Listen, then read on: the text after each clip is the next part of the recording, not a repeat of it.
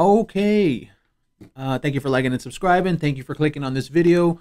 Um, the stream is still going on, and um, it's just right now we're going to recap just the morning section. But I have to tell you, this case is over. The trial, it's done. And in all, and look, I took all these notes again, just like I do every morning, every, every uh, excuse me, every stream. I took all these notes, all of them, took all these notes. And you want to know how Johnny Depp won the case? His attorney told the agent Jack Whigham. He says, after the op ed, how difficult was it for you to get Johnny Depp a movie? And the agent responds, after the op ed, it was impossible to get Johnny Depp a studio film. Boom, pack it up, trial's over. Amber Heard loses. Right there. Because if you remember last week, whatever that dumbass's name, Rotten Born or Robin Born or whatever the dumbass's name is, that's what he literally said. And if it wasn't last week, it was a week before. He literally said to Johnny Depp, the the trial that we are in is not about proving whether Amber Heard abused you. It's about proving the op-ed affected Johnny Depp's ability to get a movie. And that's it. We're done here, ladies and gentlemen. That's it. And I'll say it again for the other people. That's it. Okay? Because that is what the op ed was about. And that right there wins the case for Johnny Depp. So I think there's absolutely no, I'm not saying there's no point in talking about all this stuff. Because look, I mean, damn, it was the whole morning. But just to start the recap, we're going to go uh, trial day 12 recap. We're just going to zip right through because there really isn't a lot. You know, they were just, you know what, what really they're doing is they're really talking about Amber Heard's violence against Johnny Depp. They're talking about um, they're just trying to show how she was very physical and he wasn't. I mean, Johnny Depp was verbal, and they talk about that, and and the cross examination they try to talk about that too. Um, Travis McGivern, security, uh, he stated that the anger always came and name calling from uh, Amber Heard directed to Johnny Depp. She would tell him, "You're a deadbeat dad. You're a washed up actor. You're a fucking cunt." How can you say you love someone, you know, and and you're talking to them like that, especially someone that's like your free ride. This guy is her free ride. Like that's what Johnny Depp was. He was her meal ticket. So she's treating him like shit. Like it's so sad. So then the the the uh, security guy he says the attorney asks him, "Well, how did Amber Heard treat you?" And he says she demeaned my career choice. She called me a yes man and she said how would you feel if someone was involved in your relationship? W- what are you talking about amber? What do you mean involved in your relationship? He's security. He's supposed to be involved because you're beating up johnny depp. That's the point. That's the point. Why do you think he's involved? Because he's security. He's supposed to keep his client secure Okay, Amber Heard? So when you think you can tell the security guy, oh, well, when some, just think about how you would feel if someone was involved in your relationship. Well, maybe if the relationship wasn't fucking violent, how about that, you stupid? Bitch? Like, how about that, honestly? What do you think about that, lady? So then, um, they did cross examination. That dumbass Rotten Born, Robin. I, I, don't know. I don't know if it's rotten like a rotten apple, or I don't know if it's Robin like Batman and Robin. Either way, he's a piece of shit. Um, incident, and they start talking about the incident after, um, after Australia. They start talking about more verbal abuse. This was not the cross. Excuse me. Excuse me. Excuse me. We go back to the, we go back to Johnny Depp's lawyer. Now they start talking about this. Get this. They start talking about the situation where they had the uh, the phones thrown over over the balcony. Remember we talked about that last week? And this security guard states, quote, I saw her throw a Red Bull can at him and it struck him in the back. And right after that, I went and I stood in front of Johnny Depp in between him and Amber Heard. She threw a fucking Red Bull can at him, and I'm pretty sure it was a full one because you don't just toss a, a, a what is an empty Red Bull can. I mean, you're, you're gonna toss an empty Red Bull can; it's not gonna get anywhere. So you know, and then he goes on to say that Johnny Depp was angry and agitated, and this right here, I want to get into this for like a minute. Johnny Depp was also angry and agitated. Why is it that there's so many people right now that they believe because Johnny Depp was also angry and he also defended himself. Why is that abuse? What what is going on in your diluted mind that you think a man defending himself from a violent woman, you think that is abuse? What what is going on in your diluted head, you sick person? Because there's been a lot of people that have said that. And they've all said the same thing. Well, Johnny was toxic too. Johnny did this. Johnny did that.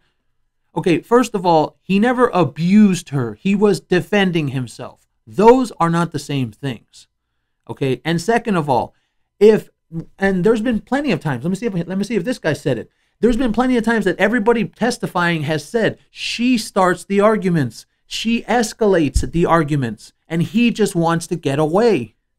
What the hell are you people talking about? Are you trying to be on her side so hard just because she's a woman that you're trying to tell me that Johnny Depp should have stood there and taken her shit? Yes, Andrew, that's exactly what they're saying. Like, really? That's what you people, that's what these people think. And there's a lot of them. Okay. There are a lot of people commenting that. They're saying that Johnny Depp hit, uh, he hit cupboards and he was throwing plates and he was screaming and, and of course you would be screaming. Of course you would be angry if somebody's always in your face, always starting arguments, always being an asshole to you. Come on. Like, I can't believe this notion that a man is supposed to just stand there and let a woman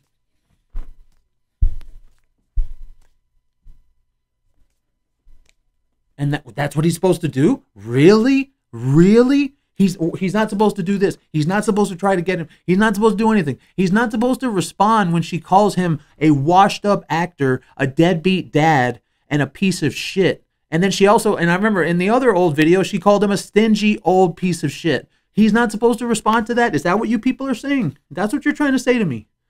You do realize that when you come out and comment like that and you say that, oh, Johnny Depp is toxic too, you realize that that puts you in the situation where you're on the side of an abuser. Because let's get one thing very clear we still have not seen any evidence, any, any, not a single shred of evidence that Amber Heard was ever, ever, ever abused. Ever. And when I say abused, I mean abused the way that Johnny Depp was abused. Because you can see that right there. You see the finger, all right. You well, I mean, I'm probably gonna have to uh, censor it for for what do you call it for uh, TikTok, but I don't know about YouTube. But you see the finger. That's. I mean, look at his face multiple times. Multiple times, and I've said that before. If a woman went out with any of that stuff in public once, once. So I still I still challenge everybody Everybody that's been coming to my comments and trying to talk shit, I still challenge you. Send me the evidence of Amber Heard's abuse, and I'll gladly shut the fuck up and I'll gladly delete all my videos because there isn't any. And I've already dropped her ass about three times now with evidence. Okay. And that video got taken down off of TikTok because why? The Amber Heard fans went and reported it. Okay. It wasn't community guidelines. It was harassment and hate speech. Really? Really? A video showing how Amber Heard lied about her abuse around, around her eye that was actually fillers and Botox? That's hate speech? Really? And that's fine, man. That's fine. But but the greatest part about this is that a case that is so polarizing like this, it shows you exactly who these people are.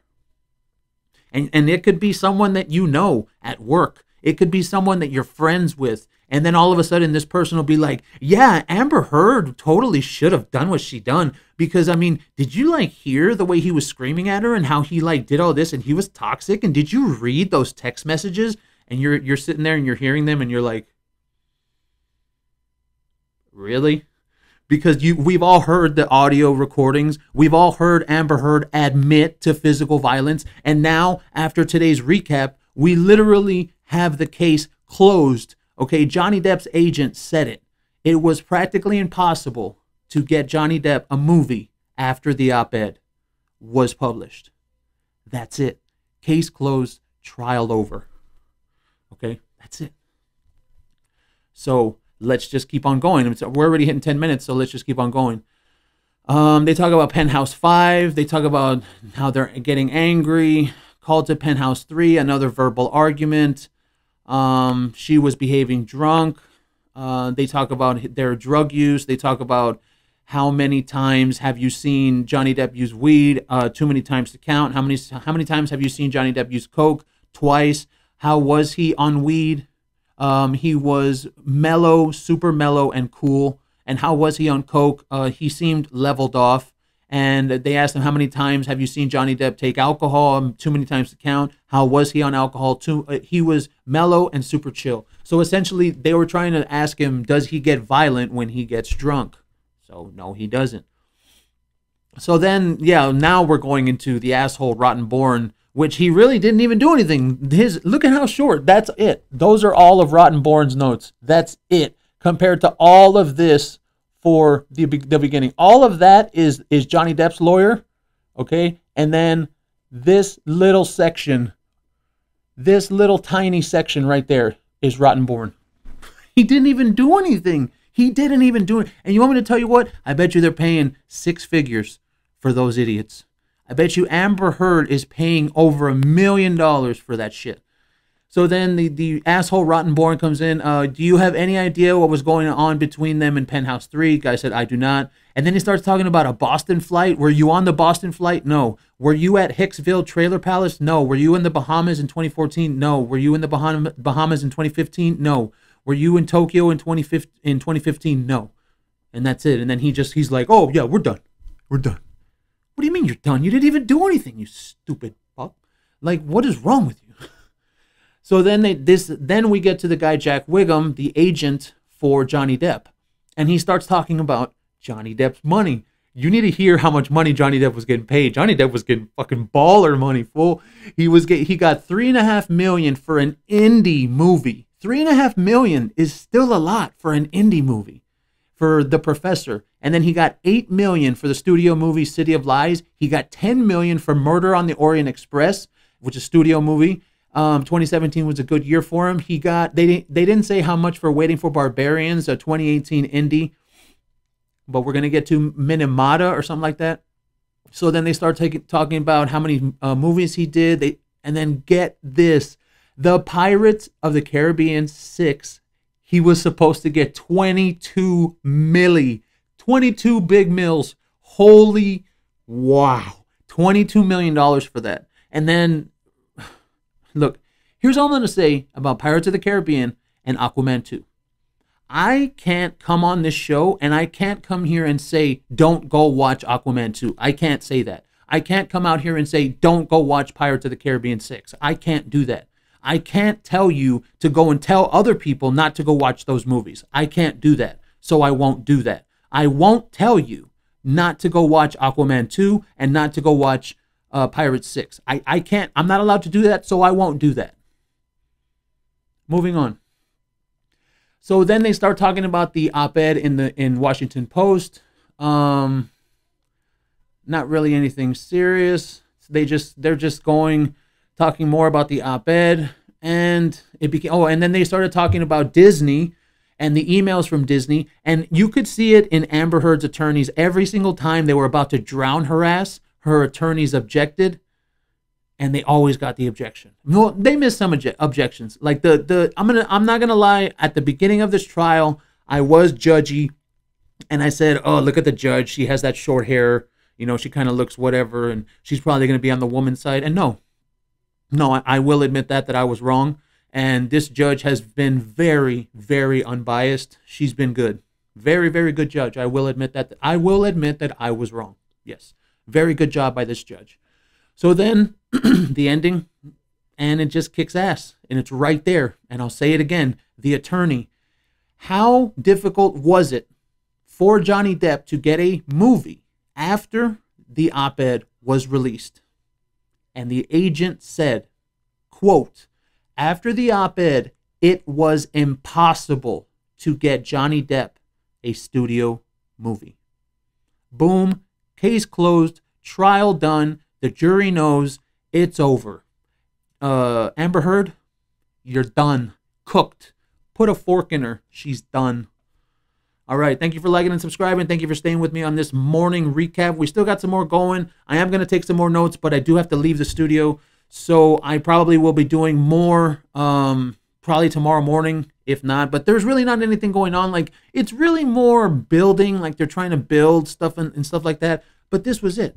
That was it right there. And I'll say it again. After the op ed was released, it was impossible to get Johnny Depp a studio film. Boom, case closed, trial over. Goodbye.